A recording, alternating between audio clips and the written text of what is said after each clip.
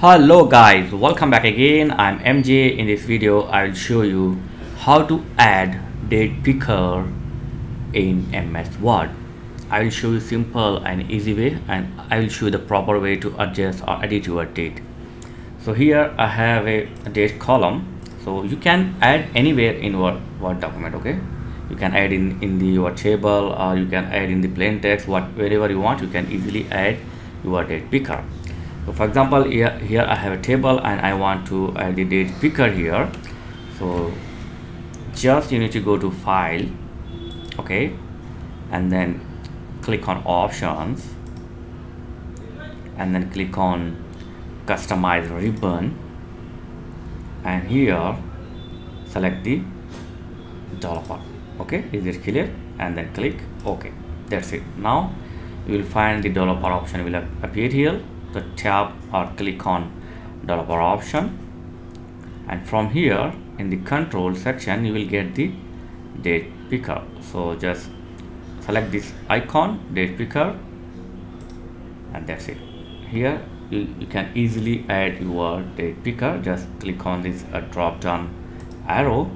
From here select your date but if you want to edit your date like example here is showing the first month then day and then year. I want to first show the day and then month. So for this you need to uh, click on the this date picker anywhere and then click on properties. And here display the date like this. You can do one thing. Delete this slash and date from here and add here day for D and then forward slash. And okay so it shows day month year. Okay and click here.